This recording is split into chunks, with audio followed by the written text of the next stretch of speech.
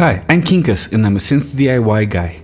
Today we're looking at the Joranalogue Test 3, a really cool utility module for anybody into Eurorack, but especially us DIY people. It's basically a voltage meter that keeps track of the voltage in your power rails and a current and peak current meter that measures the current consumption of whatever module or modules you have plugged into its built-in power connector. There are two versions of the kit, one made for the workbench and the other includes a panel for mounting onto the rack itself. I got the paneled version, which is the same but includes a second baggie with the complementary parts to make it into a module. All of the electronic components come pre-soldered. All you have to solder are the display, the power connectors, the two buttons and the LEDs. That makes it a great first kit for anybody getting into DIY. Not only is it easy to build, it becomes a useful aid in building other modules and managing your system. I started by printing out the manual, namely the section labeled with front panel. Then I just followed the super clear instructions, soldered the display, then the buttons, then the power connectors. On the version with the panel, the two connectors go on opposite sides of the PCB, while on the bench version, they both go on top, so watch out for that. When soldering the LEDs, I found it useful to line them up with their panel holes before soldering. The LED spacers help a lot too.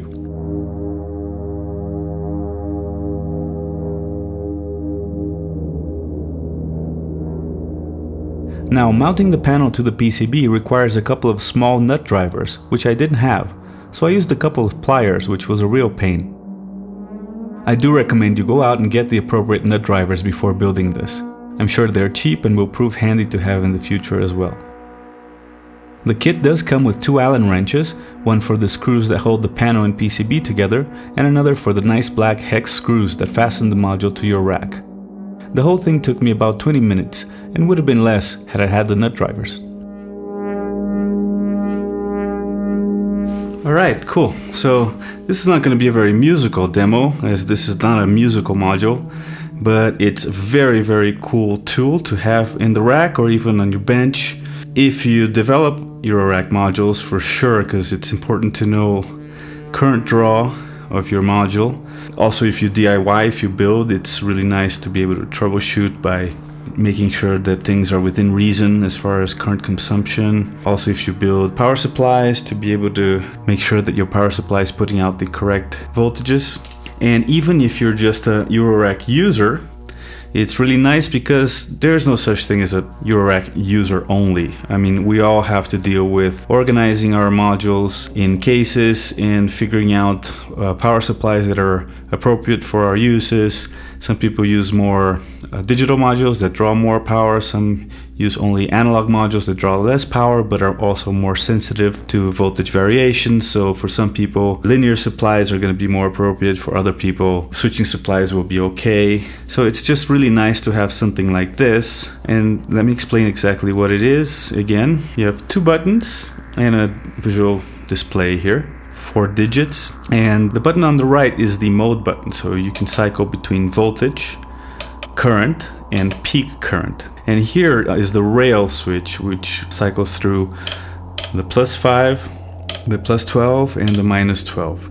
Now you can already see that this skiff that I have, it has a linear supply, and 12 volts is dead on but the minus 12 volts is a little bit low. But I haven't actually had any trouble with this skiff. It, it works fine with analog modules. You probably saw me using it with the Erica Synths full kit here set up. And it really doesn't matter that much if there's a little bit less voltage in one of the rails as long as it's stable as long as it stays steady with current variation. That's been my experience anyway. So that's interesting. If this were an adjustable power supply, which it's not, the regulators are fixed. If it were an adjustable supply, I could now, looking at this, turn some trim pots in there and get it to be 12 volts. And as you can see, I don't have a 5 volt rail. I don't actually have 5 volt rail on any of my cases because I don't have any 5 volt modules. I think they're increasingly becoming more and more rare. Most manufacturers are putting their 5 volt regulators right in the modules. And I actually think it's a dying part of the Eurorack standard.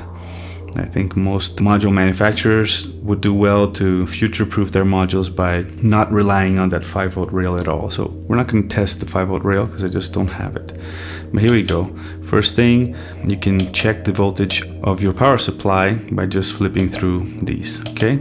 Now, when you put it in MA, which is current consumption, you can still cycle through the rails and see what's the current consumption on each rail of the module that you have connected to this output right here. Or modules, if you use like a strip cable and connect many modules, you can test a whole array of modules. You can maybe test all of the modules that you're going to put in a skiff. But I think it's a good idea to test them one at a time and take notes.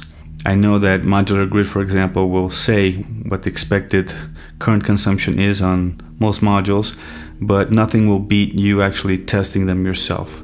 So here's one thing, when you plug in a module, you can hold to reset the peak and that's important to do after you've plugged in the module because when you first plug in a module, there's probably going to be a current spike, and that doesn't really represent the module's working conditions once it's already on. So let's do that. Let's hold this, and now we're resetting the peak.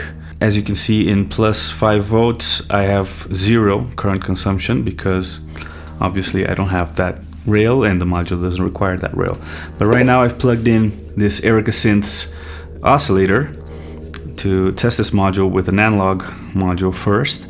So we're gonna turn this to plus 12 and right now we can see uh, that it varies because you know most modules will vary a little bit their current consumption as they operate and uh, you can switch turn some knobs to make sure that you can get all the variations measured and you can press that mode switch once again and you will see the peak current consumption. If you leave it there, if more current is consumed, that number will go up until it stabilizes. Right now it looks like this oscillator only requires 34 milliamperes, which makes sense for an analog module. They generally don't require a whole lot of current. So even though it's a nice chunky oscillator with lots of components. It draws really, really very minimal current. Let's look at the minus 12 and yeah, it looks like it pulls a little more current in the minus 12. So here we go. Now we're looking at milliamperes here. It looks like it's operating at 35. And when I turn the octave down, it goes to 36 and the peak is actually 37. Okay, so that's that's this module. It's the Erica Synths Polivoks DIY VCO. Let's pull that out. And now here's an interesting thing. With digital modules, the current consumption is going to vary according to what the microprocessor is required to do. So a module, for example, like this Lizard 2 uh, by Vibrazil Modular, it's a digital module with a lot of different modes in the firmware. And I'm guessing that the different modes are going to have different current consumptions. So you need to, if you really want to know the maximum current consumption of a digital module, you have to go through all of the modes because you know you want to make sure you know how much it can potentially draw. So let's put in the cable and plug that in. And like before, we're gonna reset that that peak, right? And here we go. We're on mode 1 of the Lizard 2. And on the minus 2 rail, it makes sense that minus the negative rail is not drawing much because as a digital module, it's probably going to take most current from the positive rail because that's what's feeding the microprocessor. The negative rail is only going to be used pretty much in the op amps that are conditioning inputs and outputs and such. So that makes sense. Let's look at what there we go. The plus 12 is drawing 84 uh, milliamperes, which is actually not a whole lot for a digital module. I was expecting it to be more.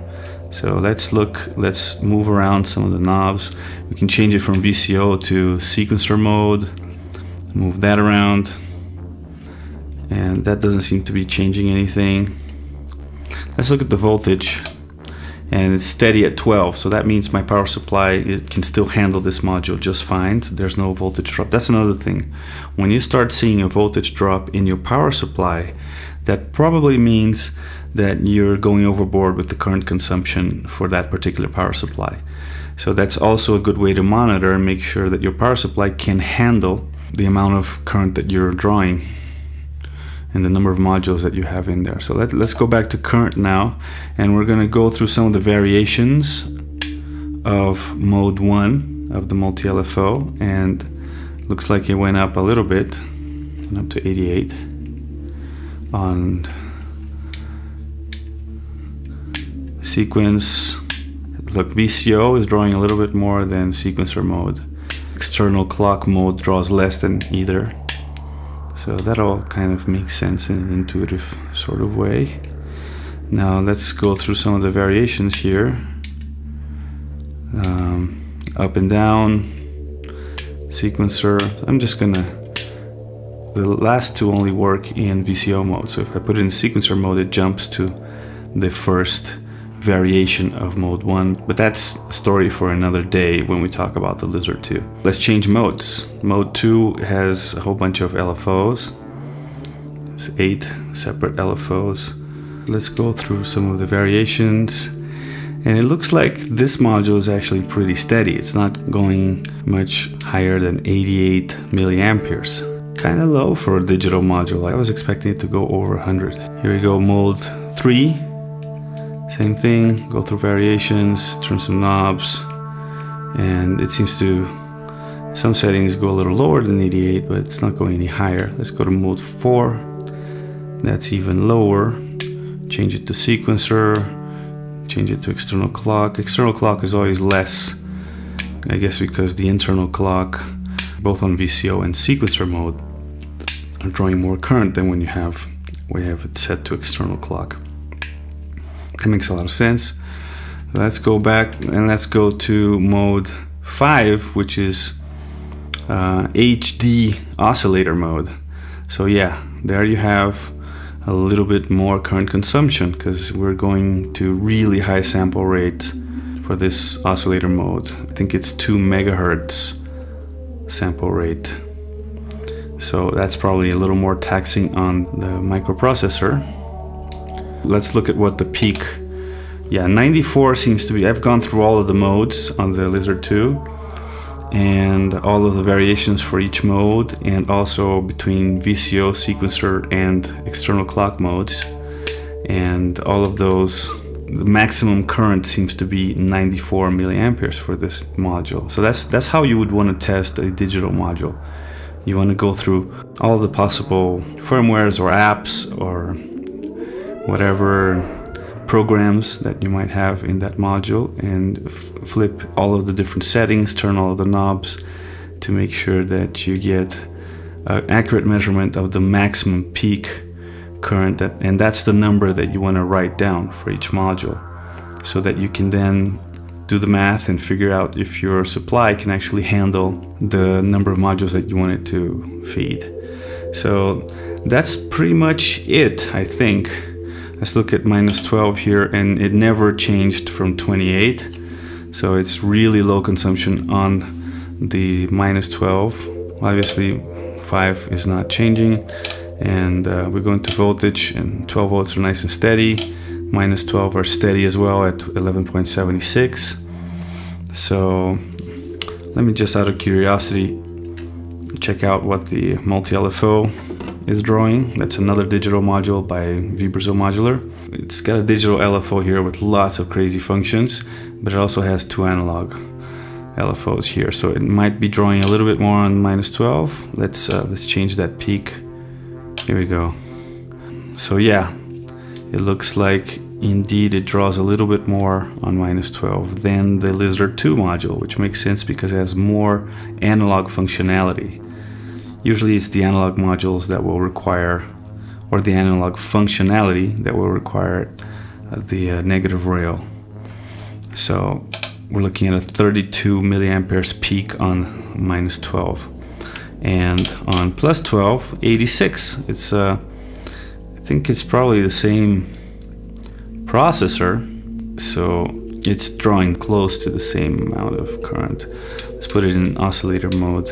It actually goes into audio rate, and yeah, it gets a little more taxing on the processor when it's actually going into audio rate. There might be a sample rate change. Let's look at the peak. Yeah, 90, 90 milliamperes would be the peak current consumption for this module, which is not a lot. So actually, I'm pleasantly surprised that the Vibrazil digital modules are drawing relatively low current for, for the amount of functionality they have and the fact that they're digital and have these high-end microprocessors inside. So I think that does it for testing this. So really cool. It looks really nice. It's really solid. The graphics are impeccable. This looks like a really high-end, expensive piece of gear, and uh, I really like the little uh, machine screws that hold the, the board in there. The the display is really, really very visible. I, I don't think the cameras are doing it justice, but it looks really nice. Great little module, great function to have in your rack. Highly recommended. Test 3. I think this is pronounced your analog. I hope I'm not mispronouncing. Joran, please correct me if I'm wrong. And that's it.